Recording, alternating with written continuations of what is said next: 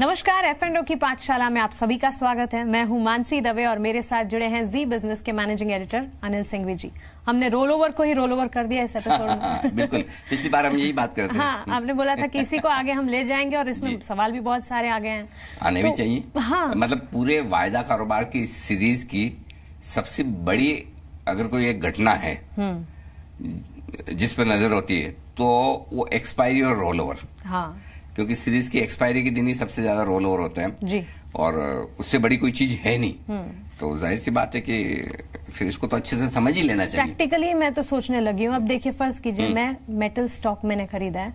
और हम्म। मुझे? अ, मैंने कोई, कोई भी भी? मेटल स्टॉक हाँ हाँ फॉर एग्ज़ाम्पल मैंने टाटा स्टील खरीद लिया है। और अब उसमें मुझे रोल ओवर करना है। हम्म। तो फिर मैं सिर्फ़ उसी स्टॉक के बारे में देखूँगी या पूरे सेक्टर का रोल ओवर चेक करूँगी? देखिए इसमें एक सिंपल चीज़ है। आमतौर पर किसी भी स्टॉक की चाल उसके सेक्टर की चाल के हिसाब से चलती है। आमतौर पर एक सेक्टर के सारे स्टॉक ऊपर जाएँगे या नीचे जाएँगे। लेकिन कभी कभी क्या होता है कोई एक स्टॉक ऐसा होगा जो अलग ही चलता है। क्यों? क्योंकि या तो उसमें कोई अच्छी या बुरी खबर की उम्मीद हो। जी। पूरा सेक्टर बढ़ रहा है वो शेयर नहीं बढ़ रहा है इसका मतलब इस शेयर को लेकर कोई दिक्कत है। जी। या पूरा सेक्टर ढीला है लेकिन किसी स्टॉक में कोई समझो बोनस आने की खबर है या लोगों को लगता है कुछ बढ़िया रिज़ल्ट आएँगे उसमें खरीदारी वो खरीदारी भी हो सकती है। तो रोल ओवर करने के लिए आपकी फ़र्स्ट प्रायोरिटी तो आपका शेयर ही होना चाहिए। कि मैं जिस शेयर में ट्रेड कर रही हूँ उसमें मेरी जो पोजीशन है तेज़ी या मंदी की क्या वो अगले महीने के लिए भी वो ठीक है क्या? जी। पहली चीज़ वो। तो अगर आप सेक्टर का रोल ओवर बहुत ना भी देखें तो चलेगा। ठीक है। खाली एक जनरल नॉलेज के लिए ठीक है कि इस सेक्टर पे आउटलुक क्या है। अगर सेक्टर को लेके लोग बहुत समझे आपने तेज़ी की पोजीशन बनाई टाटा स्टील की। और मेटल सेक्टर को लेके मार्केट पॉजिटिव नहीं है। फिर भी आप अगली सीरीज़ में तेज़ी की पोजीशन ले जाना चाहती है रोल ओवर करना चाहती है तो आपको ये सोचना है कि अरे सेक्टर के विपरीत टाटा स्टील ज़्यादा बढ़िया चल सकता है क्या? हाँ। अगर आपको लगता है सवाल का जवाब हाँ है या आपको लगता है नहीं चले ना चले मुझे तो पोजीशन रखनी है तो रख लीजिए। सेम इंडेक्स फ्यूचर्स जब आप रोल ओवर करते हैं यानी कि निफ्टी के या फिर बैंक निफ्टी के जी। तो आपको व्यू पूरे सेक्टर पे लेना है वहाँ पे। हम्म। कि बैंक निफ्टी रोल ओवर करोगे तो बैंकिंग शेयरों पे व्यू लेना है। अच्छा तो ये ये तो रोल ओवर स्टॉक्स का ही नहीं इंडेक्स का भी होता है। दोनों दोनों दोनों। अरे ये मैंने बताया नहीं क्या? अरे रोल ओवर तो दोनों का होगा भाई। ऑप्शन का नहीं होता। फ्यूचर्स का होता है। और फ्यूचर्स में क्या है? दो तरह के फ्यूचर्स है। Index futures stock futures futures हाँ। तो दोनों तरह के फ्यूचर्स का रोल ओवर होगा। निफ्टी हो बैंक निफ्टी हो कोई भी हो। अच्छा। हर तरह के फ्यूचर का रोल ओवर होगा। ऑप्शन का रोल ओवर नहीं होता फ्यूचर का रोल ओवर होता है। तो ठीक उसी तरह से जब इसीलिए जब आप इंडेक्स की बात करें या सेक्टर की बात करें ना हाँ। तो सेक्टर की बात सेक्टर का रोल ओवर करना होता है तब आपको इंडेक्स वाला देखना होता है। जैसे आपको बैंक निफ्टी का रोल ओवर करना है। जी। तो आपको देखना है कि बैंकिंग सेक्टर को लेकर आउटलुक क्या है। जब आपको निफ्टी का रोल ओवर करना है तो आपको देखना पूरा ओवरऑल मार्केट कैसा लग रहा है। अच्छा तो मैं इंडेक्स में जब ट्रेड कर रही हूँ तब मैं सेक्टर को ज़्यादा स्पेसिफिकली देखूँ ये हाँ, बाकी स्टॉक में तो खाली इतना है कि जनरल नॉलेज के लिए ठीक है कि भाई जो स्टॉक मेरे पास है पोजिशन सेक्टर भी वैसे ही कर रहा है कि उसके विपरीत कर रहा है तो थोड़ा सा वो इतना समझ के कर लें।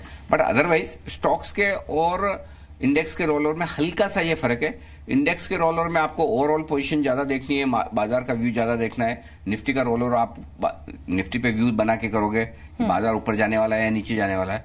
स्टॉक पे जब रोल ओवर करोगे तो इंडिविजुअल स्टॉक का भी देख लेंगे तो भी चलेगा। थोड़ा बहुत सेक्टर पे नज़र डाले तो ठीक है नहीं भी डालें तो कोई बात नहीं। चलिए तो आप इंडेक्स का भी रोल ओवर कर सकते हैं और स्टॉक का भी कर सकते हैं। जब इंडेक्स में आप रोल ओवर कर रहे हैं तो सेक्टर को स्पेसिफिकली ध्यान में रखें। और साथ ही रोल ओवर कम हुआ या रोल ओवर बढ़ा इसका मतलब क्या है? हाँ ये बड़ी इंटरेस्टिंग चीज़ है ये अच्छा सवाल पूछा है आपने। आमतौर पर आप अपनी पोजीशन को अगली सीरीज़ में क्यों ले जाते हैं? या कब ले जाते हैं? जब आपको अगली सीरीज़ में कुछ उम्मीद हो जी। कि मेरी पोजीशन के मुताबिक स्टॉक चलेगा या गिरेगा? हाँ। या मेरी पोजीशन के मुताबिक स्टॉक इंडेक्स बढ़ेगा या गिरेगा? हम्म। राइट? तो ही तो आप पोजीशन रखेंगे। नहीं तो क्यों करेंगे? परफॉर्मेंस होगा उसमें तो हाँ भाई मुझे लगता है कि अगले हाँ, तो रोल ओवर ज़्यादा कब होते हैं? जब लोगों का इंटरेस्ट बाज़ार में या उस स्टॉक में ज़्यादा होता है। अच्छा। तो रोल ओवर ज़्यादा दिखेंगे। जब लोगों का इंटरेस्ट कम है ट्रेड ही नहीं करना है कम करना है तो रोल ओवर कम होंगे। हम्म। तो आमतौर पर जब रोल ओवर ज़्यादा होते हैं तो हम कहते हैं कि अरे लोगों का इंटरेस्ट पार्टिसिपेशन बहुत है एक्शन बहुत है बाज़ार इसलिए रोल ओवर हो रहा है। हाँ और जब कम होता है तो हम कहते हैं कि अरे लोग अभी ठंडे हैं। बाज़ार में कुछ हो नहीं रहा। आमतौर पर आमतौर पर तेज़ी के माहौल में रोल ओवर ज़्यादा होते हैं। क्यों? ठीक है। कि देखिए जो बड़े इन्वेस्टर्स हैं एफ़ हुए हैं फंड हुए हैं उनको तो रोल ओवर करना तो करेंगे उनके लिए तो डे टू डे में फ़र्क कोई फ़र्क नहीं नहीं पड़ता और वो सट्टा करते भी नहीं स्पेकुलेशन है भी नहीं उनकी तो हेजिंग होती है। स्पेकुलेशन कौन करते हैं? ट्रेडर्स ट्रेडर्स और ट्रेडर्स आमतौर पर बाई नेचर ज़्यादातर तेज़ी वाले होते हैं। जी। भाई सौ में से नब्बे लोग आपको तेज़ी करने वाले मिलेंगे पचानवे में तेज़ी करने वाले मिलेंगे पाँच सात दस ही होते हैं जो मंदी के मूड में जिन्हें होते हैं। लगता है हाँ। तो ऐसी सिचुएशन में आमतौर पर जो रोल ओवर होते हैं वो तेज़ी की तरफ़ के ज़्यादा होते हैं। जब तेज़ी की पोजिशन होती है तो रोल ओवर बढ़ जाते हैं। लेकिन इसमें भी बड़ा इंटरेस्टिंग चीज़ है फंड्स ज़्यादातर मंदी की तरफ़ के रोल ओवर करते हैं क्योंकि उनकी हो हेजिंग की पोजिशन होती है। ट्रेडर्स ज़्यादातर तेज़ी की तरफ़ के रोल ओवर करते हैं। तो ये बड़ा इंटरेस्टिंग है।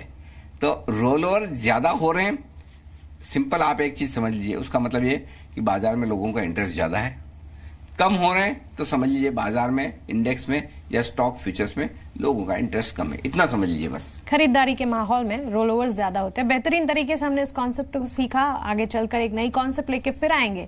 आप बने रहे हमारे साथ। नमस्कार।